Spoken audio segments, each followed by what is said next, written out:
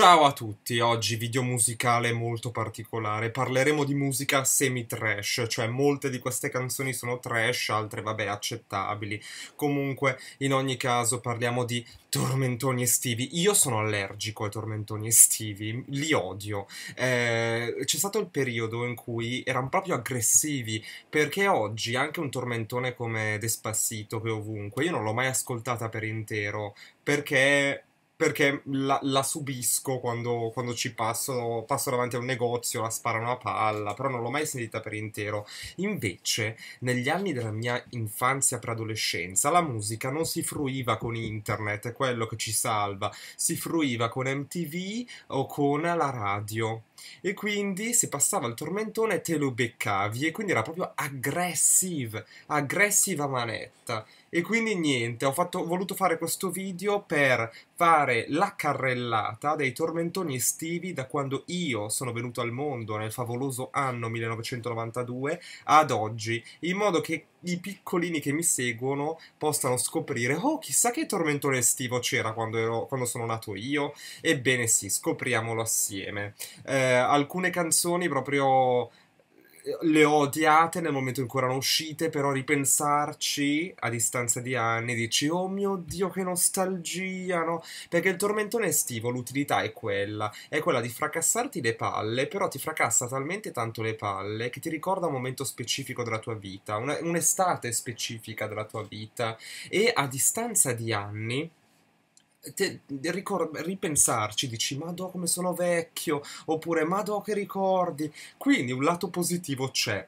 C'è anche da dire che, canzo- che, c'è stato il periodo buio del tormentone estivo nella seconda metà del 2000. Infatti quelle che ho segnato in realtà erano semplicemente canzoni di successo, ma mancava tra il 2006, eh, tra il 2005 e il 2010 la hit veramente che spacca le palle, no?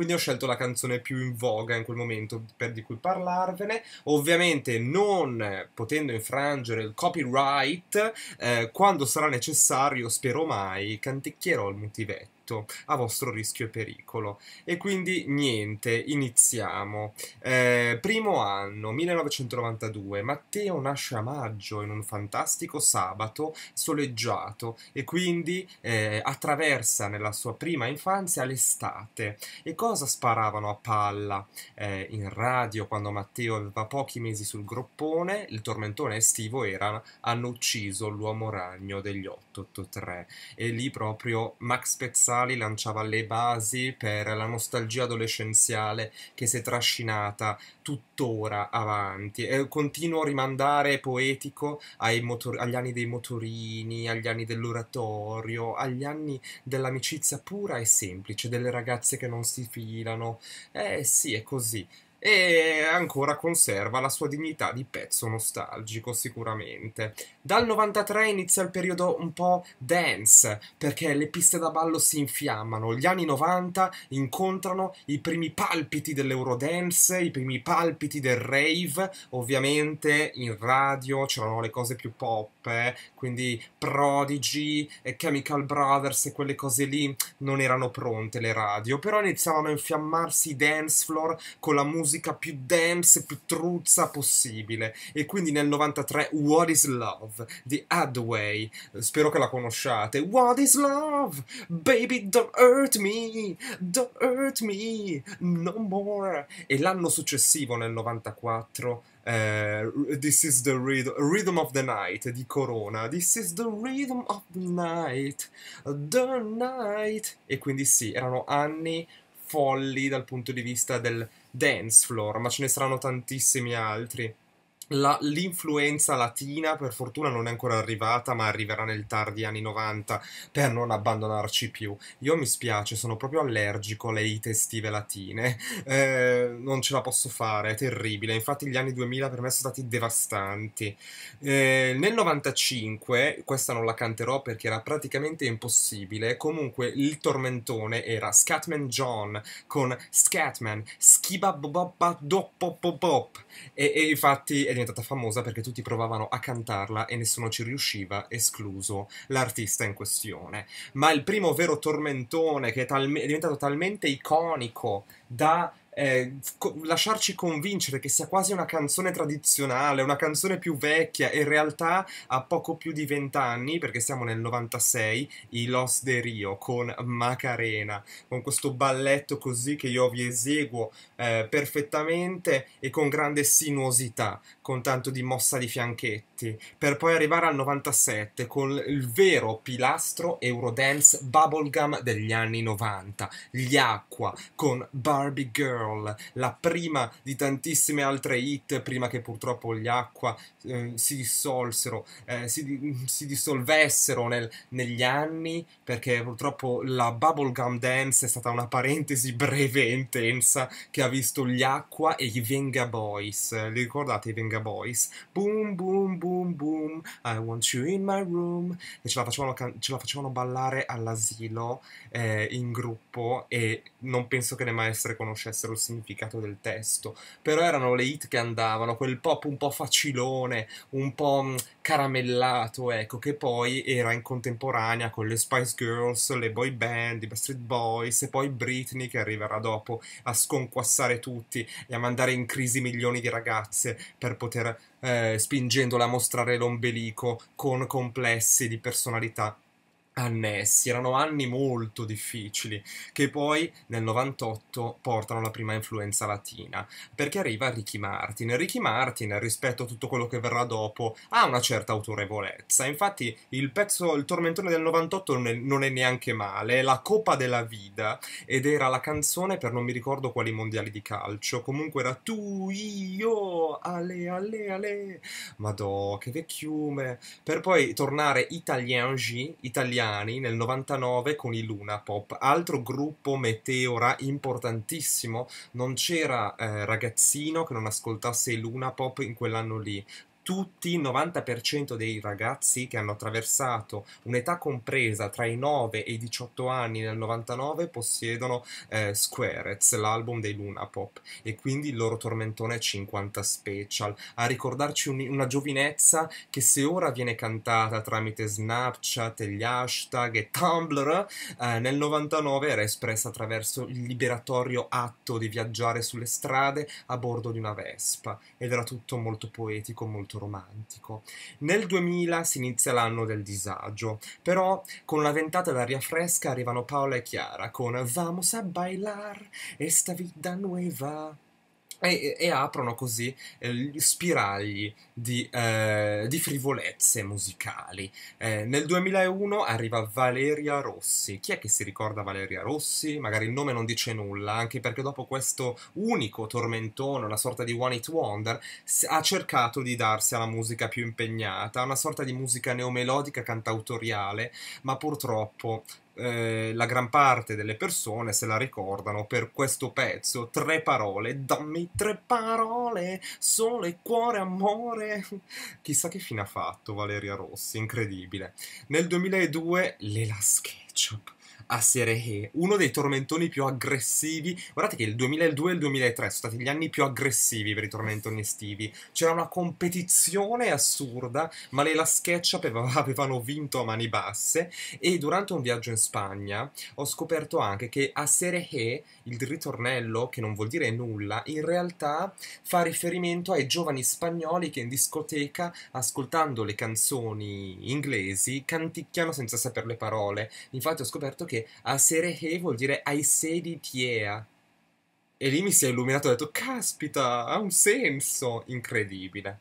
Nel 2003, un altro tormentone che io detestavo a morte, Chihuahua di DJ Bobo, con tanto di balletto, almeno a me lo facevano fare, così quello così, chihuahua, tutto, terribile, terribile. Sono quelle classiche cose che vanno di moda, in quel momento lì, appena superate, diventano l'imbarazzo, secondo me. Eh, c'era chihuahua, poi c'erano i caleidoscopio, você me apareceu, desde wanna wanna dudu, quella lì, e poi c'era eh, sais enamorar, Je sais dei tribalistas, grande annata. Nel 2004 ancora un altro pezzo che purtroppo io associo alla Tesme Red. Cioè, ve lo giuro, ogni volta che parte, perché a volte parte ancora, c'era un film, ecco, Mom, i Mommy, i Mommy forse, di Xavier Dolan. No, Just la fin du monde di Xavier Dolan c'era e io, nonostante fosse una scena in cui avesse un senso questa canzone, mi immaginavo i, i sederi che venivano, che venivano, stimolati col Tesmed ed era Dragostea Dintei di Aiducci, eh, grande pezzone truzzo. Eh, eh, memorabile. Eh, Breshna, Breshna, Numa, Numa, Yei. Non so romeno, quindi avrò sbagliato le parole di sicuro. Nel 2005 è iniziato il periodo buio, nel senso che non c'è stato un tormentone veramente stracciapalle, però la canzone di maggior successo in Italia è stata Quando i bambini fanno O di Povia. Aiuto. Nel 2006 invece Shakira riporta un po' in auge la musica pop con Hips Don't Lie, memorabile il video in cui la sua danza del ventre metteva veramente a tacere tutti e nel 2007 dominava Rihanna con Umbrella. Hella, hella, he, he, he, under my umbrella. Nel 2008, Giusy Ferreri, non ti scordar mai di me. Oddio. Allora, so che a molti piace, sicuramente, non lo so, ma io proprio quando... Oh no, eh, non ti scordar mai di me. Nel 2009 si ritorna a un periodo club. Infatti, dal 2007 a al 2010 è stato un periodo in cui andava molto la dance stile Bob Sinclair e David Guetta. Poi c'è stato il periodo del proprio truzzo ardito e feroce con i drop e adesso siamo un po'... Poi c'è stata la fase la fase un po' tropical dance, fa- e adesso siamo nel trap più totale, no? Però in quell'anno lì, 2009, c'erano i Black Eyed Peas con I got a feeling that tonight's gonna be a good night dieci anni quasi sono passati. A me sembra l'anno scorso.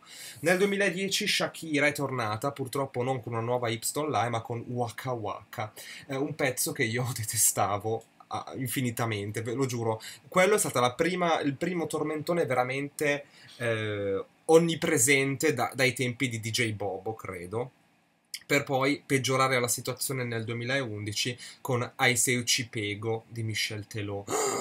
Non fatemela più sentire, vi prego. Ho detto, quando è finito l'estate del 2011 ero quasi contento, ma poi nel 2012 è arrivato Gustavo Lima, che era la versione poraccia di Michel Telot, con cecere cecere cecere cecere cecere angosciante. Nel 2013 si va in territori trasgri con Robin Thicke e uh, Blurred Lines. Oh, you want me? Uh-huh. I know you need me. Uh, altra canzone che io detestavo, ma io i tormentoni li detesto sempre. Sto cercando di, ri- di, riarrangiare la mia vita su un piano di nostalgico attraverso la musica di un certo livello. Nel 2014 si, tor- si torna in territorio latino con Enrique Iglesias, Bailando. Bailando. Nel 2015 una canzone che tutto sommato in realtà non è neanche male, Lean On di Major Laser. E qua, qua non ve la so neanche neanche a spiegare perché ormai sarete tutti cresciuti. L'anno scorso il tormentone, in realtà non saprei definire qual è stato più tormentone tra eh, Vorrei ma non posto di J-Ax e Fedez e Andiamo a comandare di Rovazzi. Il povero Rovazzi che involontariamente ha lanciato una scia di cloni, ovvero gli youtuber che si lanciano in progetti discografici alquanto inverosimili, però è tutto molto trash, è tutto molto allettante per il sottoscritto. Il tormentone di quest'anno è sicuramente Despacito e io finora sono sfuggito dall'ascoltarla per intero e spero di sfuggire prima che finisca, prima eh, che, che, l'estate concluda, diciamo. Voglio, non voglio proprio sentirla, cioè quello che ho sentito mi basta e avanza e scoprire che eh, Justin Bieber ha fatto il remix, non, non mi hanno riferito a questa cosa, mi ha detto ma come Justin, ma cosa fai, ma fermo lì, vabbè, niente, una carrellata molto frivola sulle canzoni estive veramente onnipresenti. Fatemi sapere che cos'era il tormentone di quando siete nati e se vi piacciono le canzoni frivole dell'estate, in caso qual è la, tua, la, la vostra preferita. Io votando tra queste, vabbè, ovviamente Barbie Girl, credo. Sì, sì, è quella con più classe. Fatemi sapere la vostra. Fatemi sapere quella che avete odiato di più. Io credo. Ai se Cipego, probabilmente. Sì. Beh, oddio, no, è una bella lotta, ce ne sono tante. Quelle degli anni 90 mi piacciono tutte, in verità. Eh, dei 2000 e 2010 hai Seu Ci Pego, sicuramente. Eh, però in realtà quelle degli anni 90 mi piacciono perché mi ricordano il periodo. Quindi per capire se mi danno nostalgia, devo aspettare dieci anni. Niente, fatemi sapere se anche voi siete d'accordo. vi mando un bacione e vi aspetto al prossimo video. Ciao ciao.